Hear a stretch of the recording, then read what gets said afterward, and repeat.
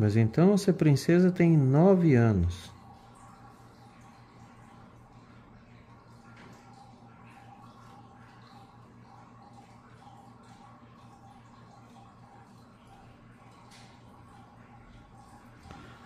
Você não vai falar nenhum ai, não?